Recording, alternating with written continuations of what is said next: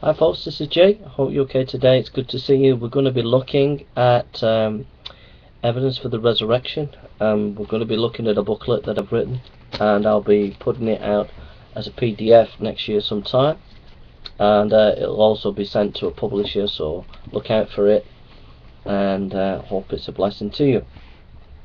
Evidence for the resurrection of Christ by J. Burns.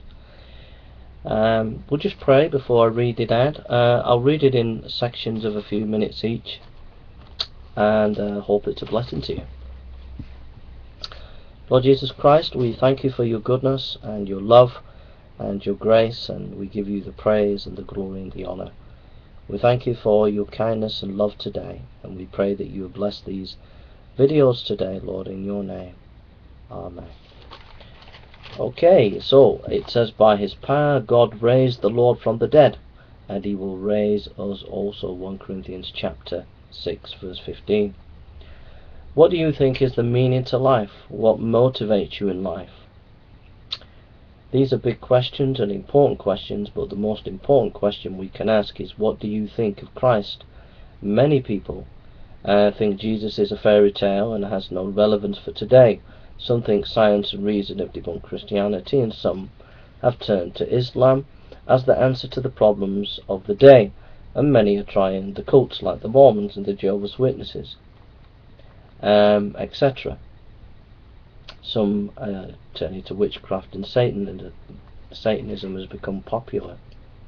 Uh, with the young, Eastern religions of an appeal to more mystical mindset. In the midst of all this Many people are just confused and bewildered. Now I would like to ask you to be open-minded as we consider the, this point. If Jesus really lived, really died, and really rose from the dead, that means he is the Messiah, the Son of God. And if he is the Son of God, that means we shall we should give him our loyalty and faith it means Jesus Christ comes first above all the claims of religions, cults, science or philosophy.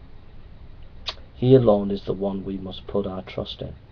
Jesus answered, I am the way, the truth, and the life. No one comes to the Father except through me. John 14:6. Are we willing to consider the possibility that we might be wrong on this issue? Alright, we'll come to the next part